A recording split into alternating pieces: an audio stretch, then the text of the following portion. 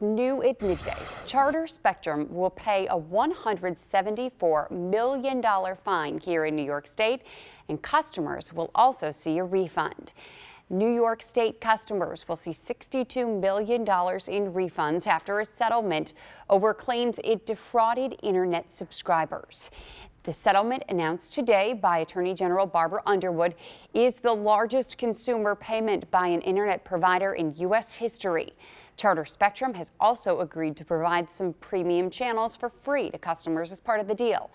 Charter will be notifying subscribers if they are eligible for the refund within the next few months. No word yet on the amount of the individual refunds.